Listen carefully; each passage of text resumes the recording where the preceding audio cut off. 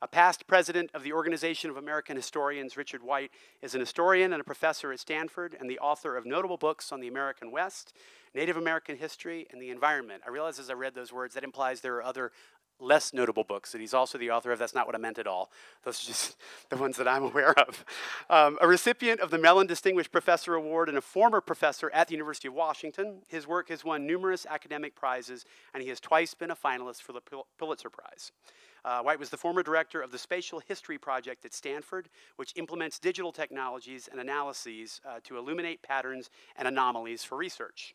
He is the author of numerous books, including Railroaded, The Transcontinentals and the Making of Modern America from 2011, 1991's The Middle Ground, uh, Indians, Empires, and Republics in the Great Lakes region, and 1996's The Organic Machine on the remaking of the Columbia River.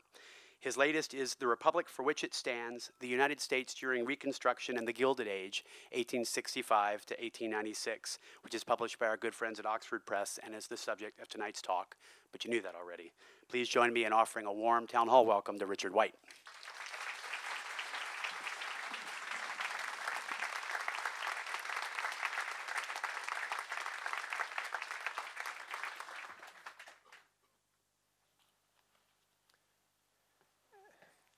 Good to be back in Seattle. As the introduction mentioned, I taught here in the 1980s and 1990s.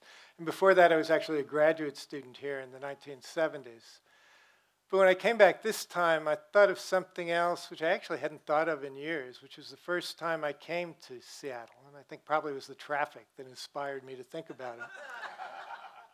Because the first time I came here in 1969, I was driving a Volkswagen van full of Nisqually Indians, um, fishing rights activist, activists from Frank's Landing down near Olympia. And somewhere around Tacoma, we lost our brakes. And I remember saying, We've lost our brakes. And I remember them saying, Keep driving. Which I did. And it's a testimony to my own stupidity that I kept driving but also to the gentleness of Seattle traffic in those years that we actually made it into Seattle and that I'm still standing here today. I'm going to talk about the book, which is, as everybody knows, a very big book. Um, as a matter of fact, the daughter of one of my friends said it was the biggest book she'd ever seen in her life.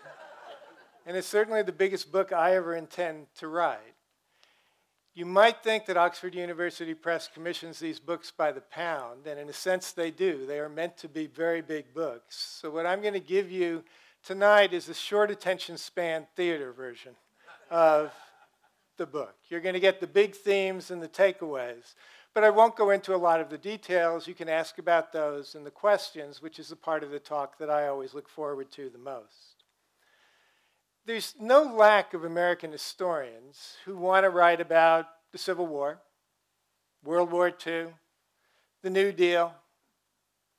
But the Gilded Age, the period between 1865 and about 1896, is usually flyover country. It's remembered mostly as the golden age of facial hair, as you can see here. And these are the American presidents who are the most forgettable presidents in American history Ulysses S. Grant, Rutherford B. Hayes, James Garfield, the immortal Chester A. Arthur, who actually has a new biography out about him, Benjamin Harrison, Grover Cleveland. There's an age of Jackson, there's an age of Lincoln, there's an age of Roosevelt, there's no age of Benjamin Harrison. But we should be careful before we consign this period to a backwater. Because if it's a backwater, we're living in one too. We're living in a second Gilded Age. It's a parallel that's often been made, and I think it's a very good parallel. I can start with the parallels. They're obvious and they're abundant. Partisan stalemate, check. Immigration and reaction, check. Corruption in both politics and business, check. Rising inequality, double check. Environmental crisis, check. Claims of white supremacy, check. Attempts to restrict suffrage, check. All of these things were true then. All of these things are true now. And I could go on. The period did not produce important political figures. It's not that there weren't important figures, they just weren't elected to office, even when they were engaged in politics. Perhaps the most adroit politician of the time was Frances Willard of the Women's Christian Temperance Union, which is now parodied, but which is a very serious political organization in the late 19th century. She not only couldn't hold office, she couldn't vote. Political activity went beyond holding office and even beyond voting. Ida B. Wells was doubly disbarred by virtue of her gender and her race. But there's nobody in the late 19th century who did more to lead the attack on lynching. She did far more than any elected official. In literature, it was a distinguished age. This is a great age of American realism. Mark Twain, William James, William Dean Howells, who really forms my guide through this book, Hamlin Garland, Edith Wharton, Charles Chesnutt. And if we look to popular culture, it really is the invention of American popular culture. This is a period of Buffalo Bill's Wild West which is a mass spectacle which will tour for more than 30 years. I would even say that Buffalo Bill Cody is the only real genius ever produced in the American West. It's also going to be the rise of the mass press, and it's going to be the rise of professional sports, particularly baseball. It is creating an American popular culture which, from then until now, is probably the most influential thing about this country. But the key to the period is a phrase that William Dean Howells used the sufficiency of the common. This was an age obsessed with Lincoln. David Kennedy, who's the general editor of the series, pointed out that the only great president and the only hero in my book was Abraham Lincoln, and he died on the first page. And that is true. The Gilded Age will never produce anybody remotely like Lincoln. But Howell's point was in the end, that really doesn't matter. He says it's the insufficiency of the uncommon and the sufficiency of the common that matters. He says if America means anything at all, it means the sufficiency of the common, the insufficiency of the income, uncommon. And I think in a democracy, the sufficiency of the common is ultimately all that matters. If the common fails in a democracy, then it's all over. The uncommon will never save us. But how sufficiency of the common can seem a thin thread during the turmoil of the Gilded Age, and it can seem a thin thread to us today in the second Gilded Age. In the Gilded Age, things did not work out as people imagined. They were astonished to find themselves living in a world that many of them had never predicted and never intended to produce. It's a feeling we can have sympathy with today. In 1865, the Civil War ended with the North triumphant. The Republican Party was in the saddle. There's probably only been one other time in American history, the New Deal, where one party held such great power. And the Republicans knew what they wanted to do with it. What they wanted to do was create a world of a homogeneous citizenry. This is a Thomas Nast cartoon, one that he wouldn't stick to his whole life. But the idea was that unlike before the Civil War, everyone entitled to citizenship in the United States, and in Nast cartoon, some who weren't, would have an equal set of rights, and those rights would be guaranteed by the federal government. That same federal government would spread free labor across the entire United States.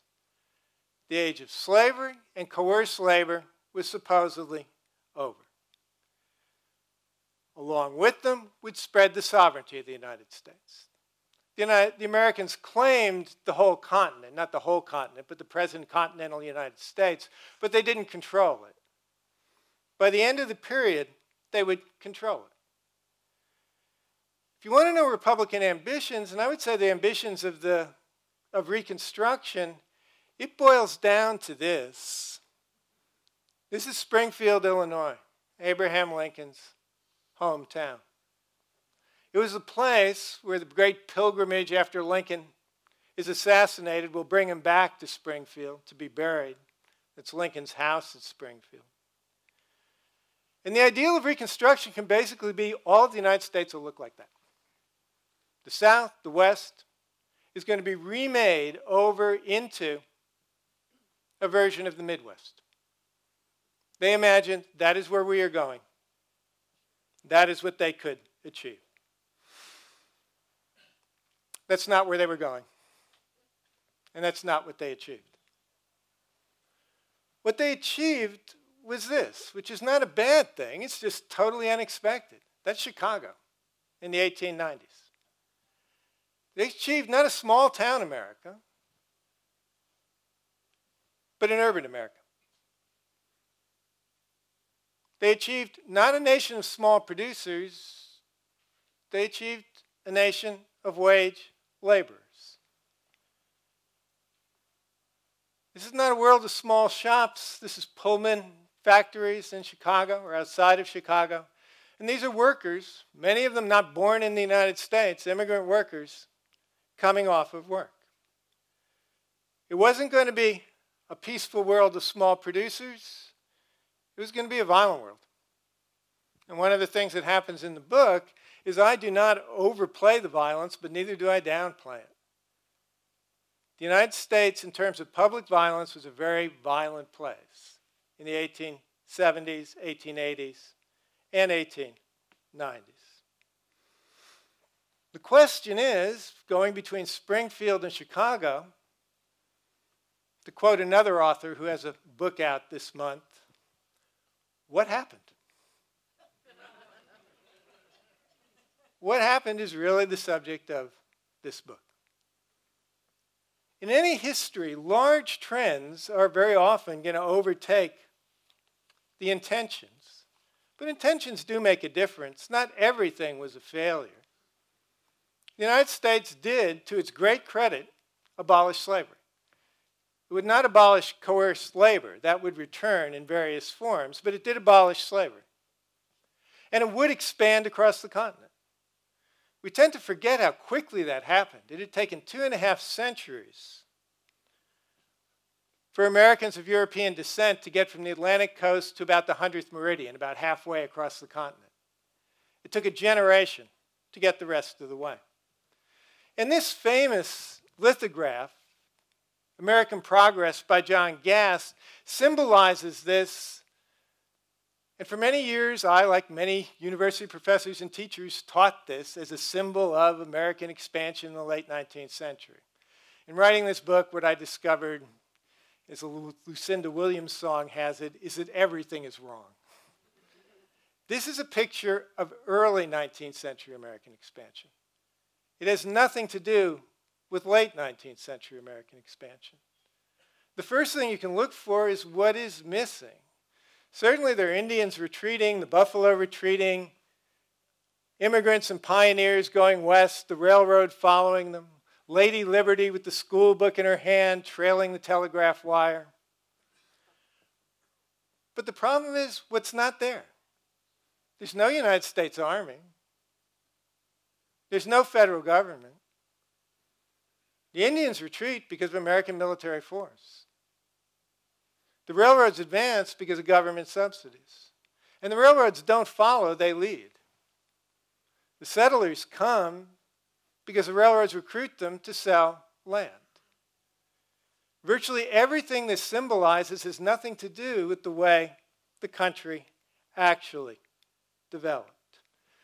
And the other thing to keep in mind, and I say this even though I'm a Western chauvinist, is that in the late 19th century in the West, there's a lot more land than people. That if you look back, the population of the West throughout the period I'm talking about is going to be very, very sparse.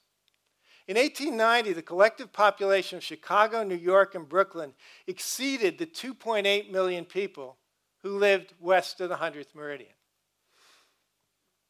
And if you took San Francisco out of the equation, then New York and Brooklyn alone would have contained almost as many people as the Rocky Mountain states, the Pacific Coast states, and the Southwest. We conquer the West. We dispossess Indian peoples. But by and large, it is not going to be the golden age of the West in the late 19th century, that we often portray it that way. It's going to be the golden age of the Midwest. Immigration is going to be much more important than Western expansion. You can't detach the two. Many of the people who settle Washington, California, Dakotas, the majority of the people in some states, are going to be immigrants. The immigrants are going to come in and settle in the countryside, but they're also going to settle in cities. And as you can see here, when you take Southern and Eastern Europe, starting about 1890, the United States is going to be much more diverse. What Southern and Eastern Europe means is Catholic and Jewish. A country which had been largely Protestant is going to be much more diverse. The homogeneous citizenry, which most Republicans, unlike Nast, imagined, would still be a Protestant country. And it would remain a Protestant country by 1900, but with a much larger proportion of Catholics and Jews. It's also going to be a country which industrializes. Between 1839 and 1899, manufacturing output increases 40 fold. By 1900, in a vision of ourselves we still hold, I think, the United States had one half of the world's manufacturing capacity. One half of all the manufacturing capacity was in the United States. Corporations were still largely confined to railroads, but larger companies are becoming more and more dominant, and Americans hate it. This is the Southern Pacific Railroad, but I could reproduce a slide like this for literally every minute of this lecture. I could reproduce it for every second of this lecture. There is going to be a fear that this economic growth is being dominated by the rich and the powerful and small producers are going to be the victims. By 1900, 80% of manufacturing workers are within factories. But in 1865, like in Lincoln Springfield, it had been a world of small shops and businesses. The inequality becomes symbolized in the things that we associate with the Gilded Age.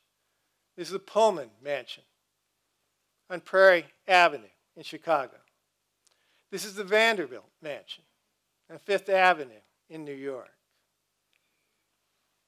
This is an alley in back of the yards in Chicago. We were supposed to be a Goldilocks country. We're supposed to be in between. But suddenly we were becoming a country of what they called at the time the dangerous classes the very rich and the very poor. The American dream, to use a word that we still use, in the 19th century was not great witches. It's something called a competency. A competency meant you earned enough to support yourself, to have something to tide you over hard times, to provide your children with a start in life, and to take care of yourself in your old age. And that's what you wanted. You didn't want great riches, you wanted a competency. But now we've the competency begins to vanish, and that is why they begin to talk about the dangerous classes. One of the hardest things to do in the book was to figure out whether all of these changes benefited ordinary Americans. I'm not going to go into the economic literature, but many of you have seen the graphs which show starting in about 1800 with industrialization in Europe, production goes way up. Wealth in the world goes way up. And it really does. There's, there's no arguing about that. The question is where the wealth goes. And 19th century economic statistics just simply are not good enough to measure that with any reliability. We don't have good statistics on economic income. So what I did, following economists and demographers, is make a basic surmise. If Americans were get, being more prosperous in an urbanizing, industrializing world, then it would be that they'd be healthier. And the marks of being healthier was that they should be taller, they should live longer, and their children should not die in great numbers in childhood. And from all the studies we've done so far, none of that is true. This is 1800, and as you see, the trend line goes down through much of the 19th century, rising up only in the end. If Americans were growing shorter, if Americans were living shorter lifespans, if their children continued to die in huge numbers, then it seems to me that something was going dramatically awry. If you measure just GDP, yeah, American grew. But GDP is not about distribution. And again, I won't go into the details, but even if you look at the growth rates in the 19th century, they're marked by sharp recessions and depressions, roughly every 10 years. And then much of the growth in the United States is going to be building things like railroads, roads, infrastructure, cities, buildings, all of which increase the country's wealth, all of which make an industrial giant, but few of those things contribute to individual consumption. There was a good reason that there's so much conflict in the Gilded Age. There's a good reason why there's so much violence in the streets. Ordinary people thought their lives were getting worse, not better. And there's a lot of evidence that ordinary people were right. But my question is how did they understand it? How did they begin to try to understand these changes they never intended, which were beginning to shape their lives?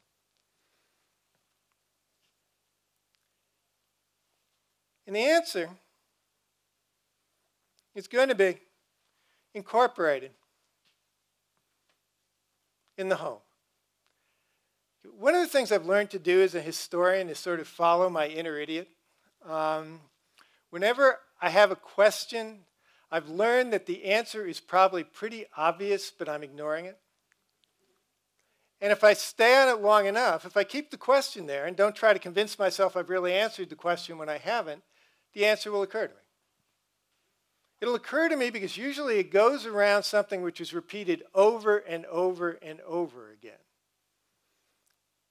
It's the kind of over here, over here, over here. And over here in the 19th century is the home. It's a word that's absolutely ubiquitous in the 19th century. When Americans tried to understand who they were and what the nation was, they talked about the home. When they talked about gender roles, they talked about the home. When they talked about race, they talked about the home. When they evaluated whether changes were good or whether they were bad, they talked about the home. The nation was less a collection of individuals than it was a collection of homes. That's how they understood the United States. People's success in life was going to be made around creating a home. These are from mug books in the Midwest in the 19th century, and you can repeat them endlessly. The first home in the woods, the end of a successful life, the creation of a prosperous farm, and a home. Homogeneous citizenship, it's going to be the black people too, can now have homes. Over here, the horrors of slavery. Over here, the difference of freedom, but at the center is the black home, the black family, and of course, Abraham Lincoln. But the problem is that the home's always double edged. Part of the violence during Reconstruction by the Ku Klux Klan and other Southern terrorists is going to be attacking the black home. And they were not wrong. They realized that if they could show that black men could not protect their home and black women could not sustain their home, then black people were not worthy of the privileges of citizenship because citizenship revolved around the ability to maintain a home. And so we get to some of the most horrific symbolic violence of the period. Night riders show up outside a black cabin, and the details differ, but they're all equally horrible. A black wife is raped in front of her husband. A black man is tied to a tree and lashed. Sometimes he's castrated. Sometimes he's murdered. Sometimes they're just more economical. A shotgun appears through the window, and they fire indiscriminately at black families, men, women, and children. But the goal is subordination. You cannot protect your home. Single working women are seen as a danger to society in the 19th century because they are not attached to a home. They're called, in the terms of the period, women adrift. The Chinese are going to be made into the great symbols of the threat to the home because supposedly they can live on nothing. Why they can live on 40 cents a day, while a white working man needs a living wage to sustain a home. If you bring in Chinese, in the xenophobic literature, you are going to destroy the white home. And the white home is, for working men, such as these workers' cottages in Chicago, the point of their attaining a sufficiency. They are going to be, this is their aim in life. They can achieve that. And the threat to that is to them a threat to everything they hold important in life. And I could go endlessly on. What do Indians do in the 19th century? They attack the home. They attack settlers. They attack families. They attack the home. To fall outside the home in 19th century America is to be stripped of your rights and to be not worthy of citizenship. And it's not just racial. The problem with tramps, homeless people in the 19th century is they don't sustain homes. And they are seen too as a danger to society. Willard's genius is that you can base a politics on this. There's Frances Willard, the Home Protection Manual, which is the key of the reform movement in the Women's Christian Temperance Union. But what Willard makes clear is this was an age of reform. People did not sit quietly as these changes transformed the nation. And we often frame it as an age of laissez faire and individualism, but I don't think it was at all. It's not that those things weren't present, but I don't think they were dominant. Americans in the 19th century thought in terms of collectivities, they thought in terms of homes, they thought in terms of churches, they thought in terms of voluntary organizations, they thought in terms of unions. They could despise government, and for very good reason, but they also expected government to act for a collective good. And in terms of laws and authority, government was extraordinarily powerful in the late 19th century, but it lacked administrative capacity. And it's one of the interesting parallels with today. The government had the power to do all kinds of things, but it did it through subsidies and through delegation of authority. It rewarded public officials by allowing them to collect fees and make money off of their office. This is the reason the corruption was so great during the period. You want to build railroads? You subsidize massive corporations. You want to support prisons? You take the prisoners and you let them out to private parties who, in the South and in the North, very often work them to death. The idea for many Americans was to, to encounter, govern, encounter a government official is to encounter somebody who would try to make money by providing you with a service. Why the United States shifts over to bureaucracy is to avoid that, to avoid fee-based government.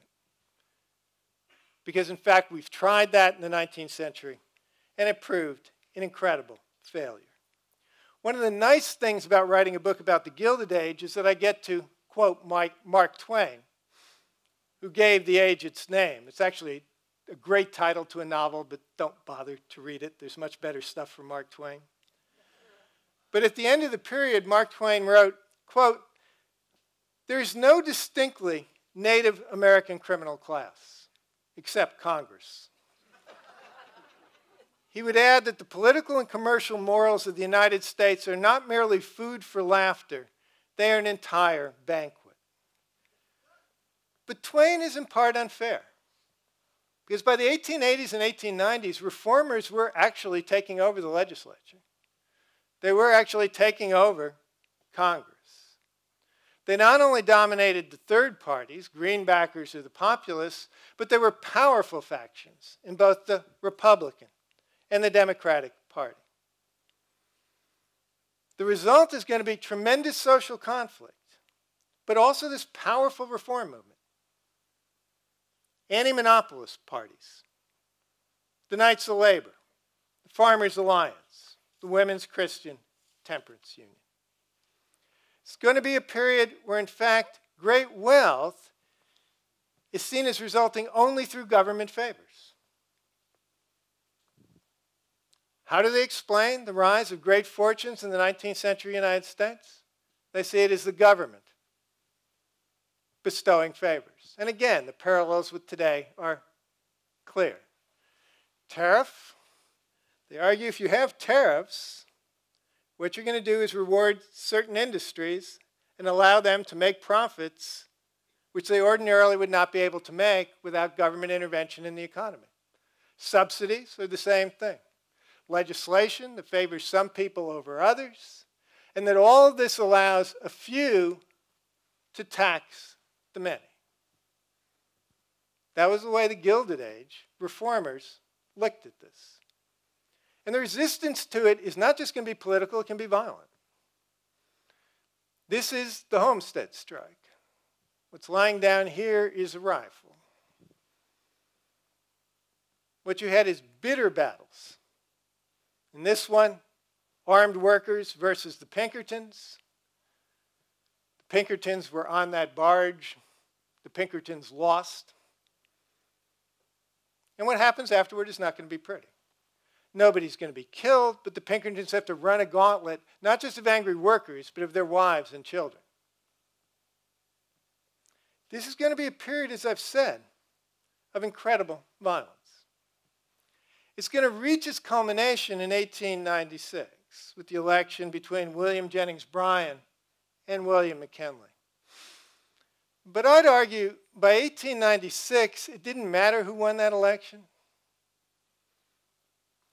The basic question had already been answered. Whether the populists win and they really didn't have a chance, whether Bryan wins, whether McKinley wins. Americans had agreed that whatever was going to be the solution to this kind of social conflict, to the kinds of problems they confronted during the Gilded Age, government was going to be the answer.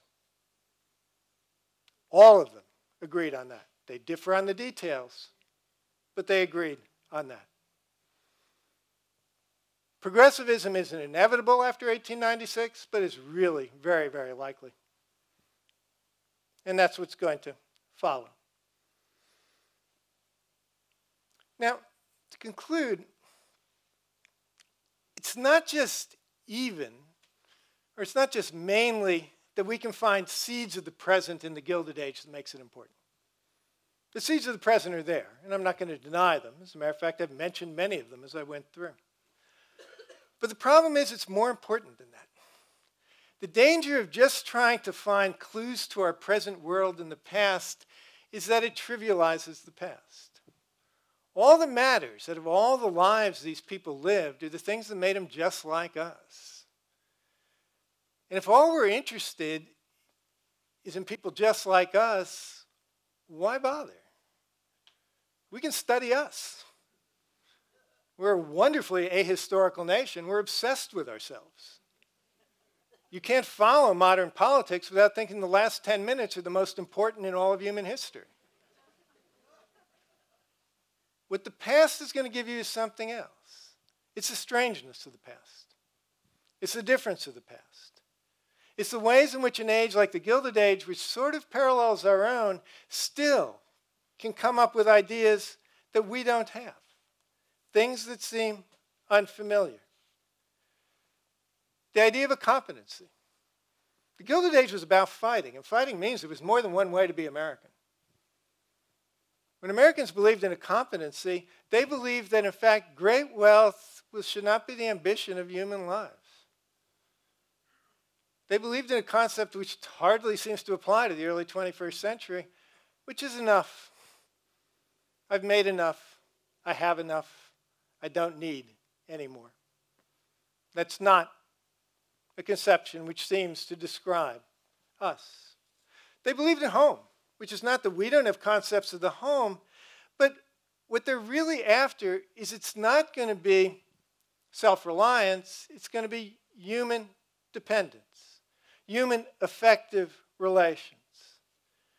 There's something more important than self fulfillment.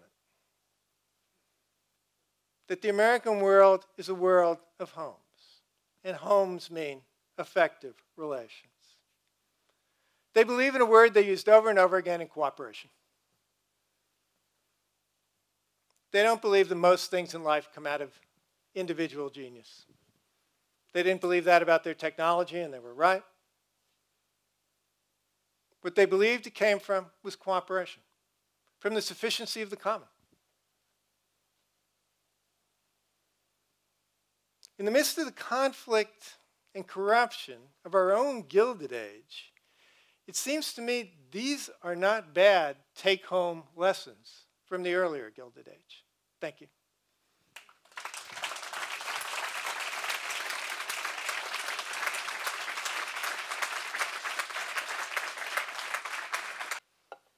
Good evening. Thank you. That was a very interesting presentation. My question is uh, your choice of terms.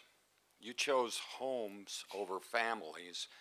Was there a reason, or is that just a random choice of nouns? No, the reason I chose it is that's the word they used. Um, in the 19th century, you could, I ignored it and ignored it and ignored it, and I realized if they're using this word over and over again, they mean something particular by it. And they used home. It's not the family didn't exist, but the ideal was the home. And it's in home sweet home, the sanctity of the home. So that's their word, not mine. That's why I used it so much. Hi. Uh, during that time, there was like at least one major financial panic. Um, I think it was 1893. And how did that weave in with the Gilded Age, and do you see any parallels to today? Um, there are three of them. There's going to be 1873, 1883, and the big one is the one you got, 1893. And the way it wove in is what the government will do is subsidize an economy, but there's very little regulation of that economy. So all of the economy, all of the um, depressions are in a sense going to be railroad depressions, not because it's all just the railroads, but because the railroads are big corporations. And the, and the um, short version of this is it's much like the recent housing panic. Credit is extended. These railroads could not possibly earn enough money to pay their debt. The way that they stayed in business was they kept borrowing more money. At a certain point, people began to worry about their ability to pay them back.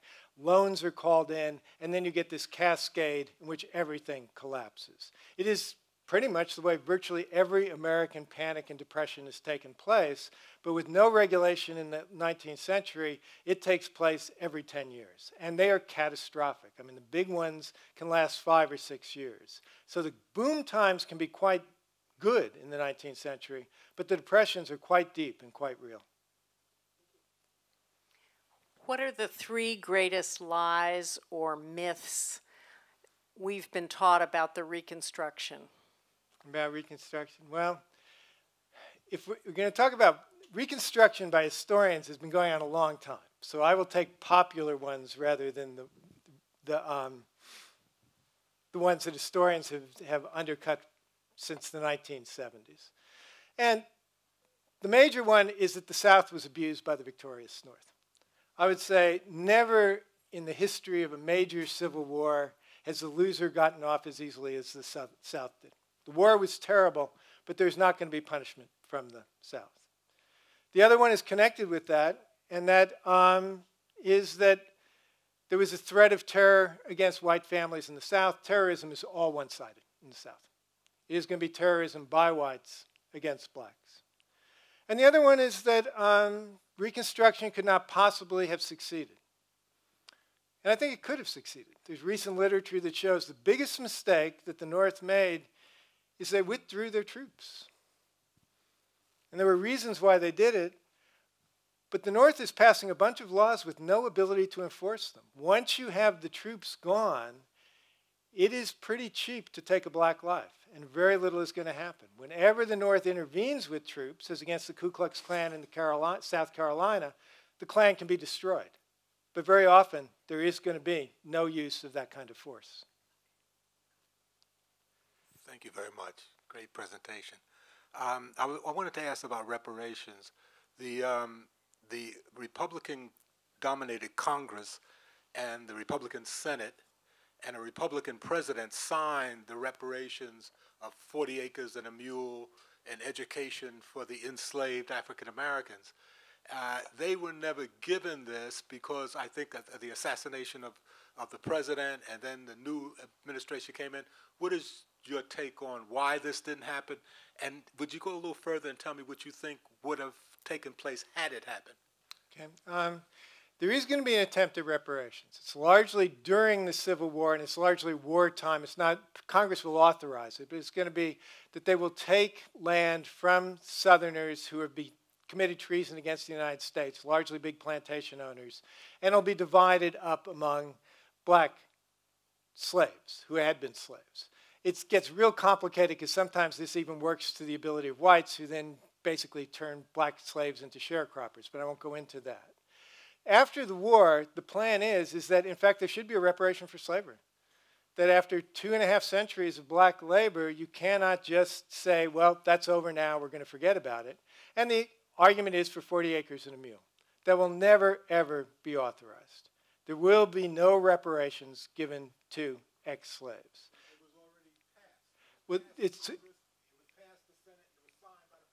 a, there's a wartime measure which allows you with wartime powers to take them, but there is not anything which is passed after the war as peace comes in which will allow you to solidify this and to take the rest. As a matter of fact, everything that was taken during the war is given back. So people who had worked this land for two or three years have to give it back to the old owners.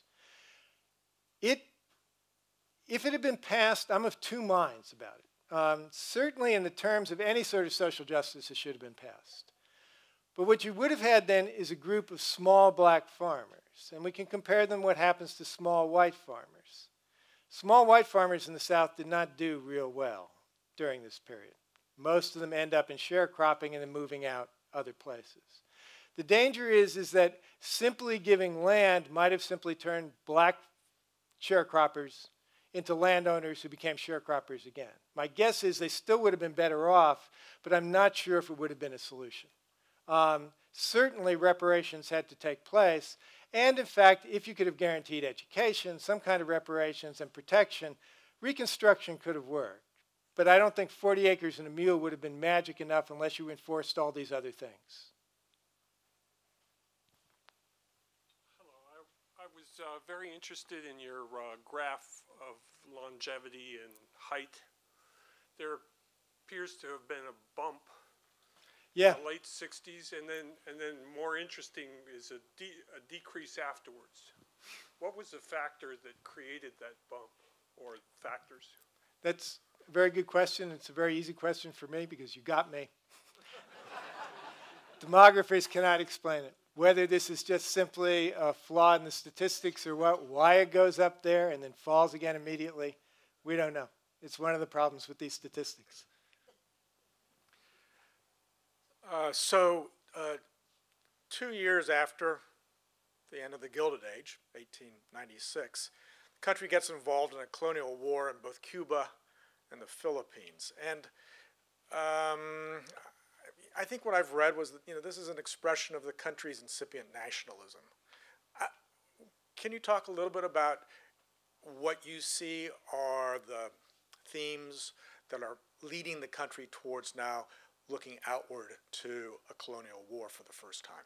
Yeah. It's one of the reasons why I ended the book in 1896 instead of 1898 because I didn't want to address that question.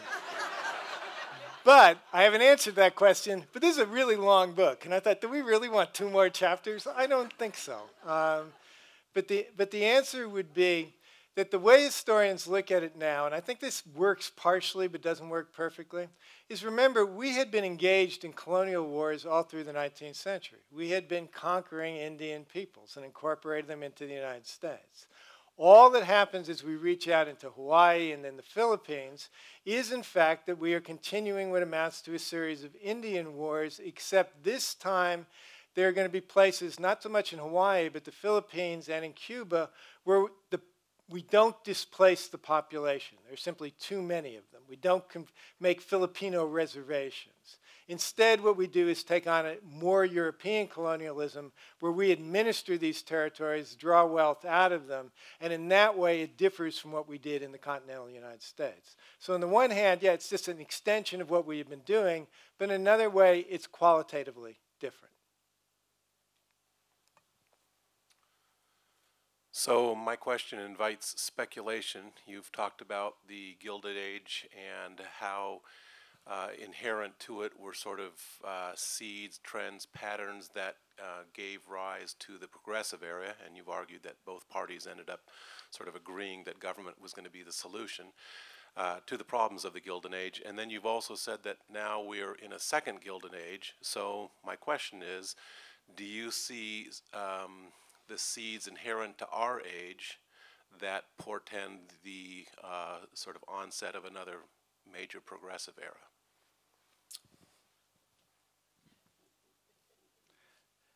I'll probably be dead by the time this comes to fruition, so uh, nobody can criticize me, but I would say yes.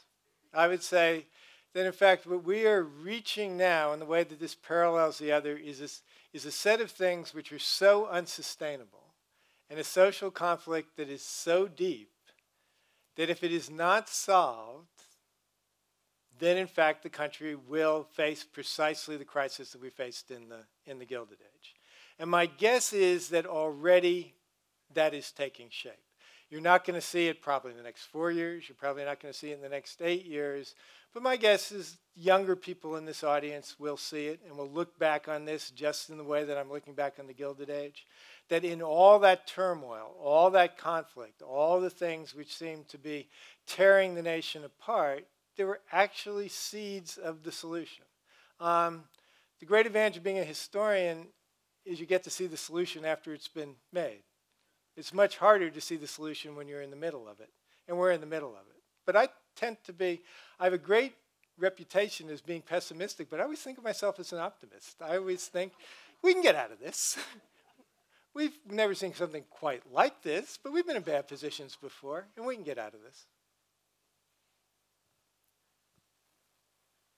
Um, thank you. I, I wonder if you could um, talk a little bit about the challenge of periodization. The historian's task is to sort of define an age and a period and what makes the late 19th century the Gilded Age and not something else. And so you've written a book that is both about Reconstruction and the Gilded Age, two periods that we traditionally think of as distinct, but you have this sort of one uh, uh, larger work about it. And I wonder if you, what sort of, in the talk I didn't hear discussion about either about the similarities and differences.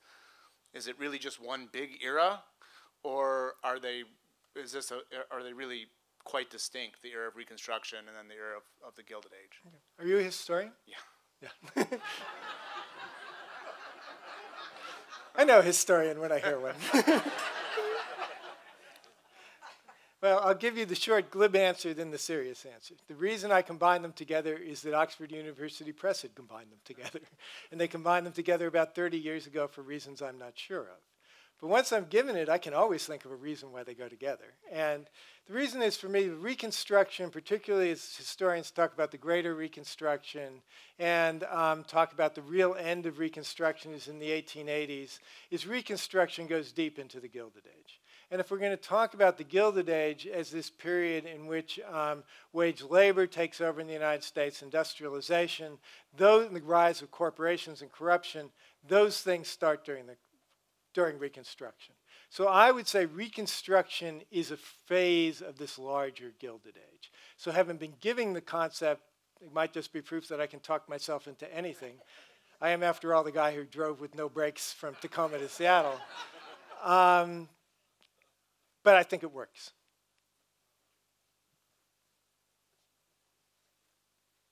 This next question will be our last one for the evening.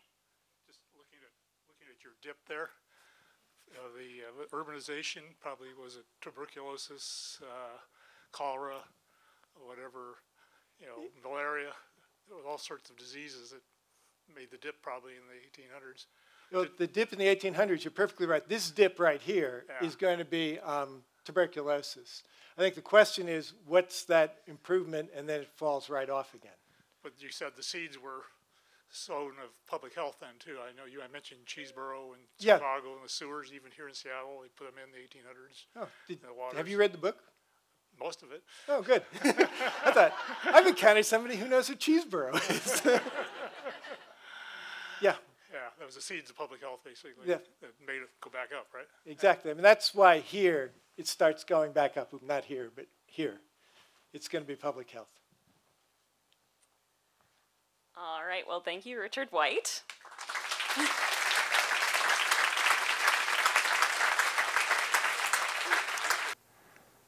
So these, uh, what's in it for these rich people though, okay? Because why do they want it to be this way? If we had a full uh, employment economy, right, wouldn't that mean more wealth for them? So, uh, Well- what, what are they trying to do here?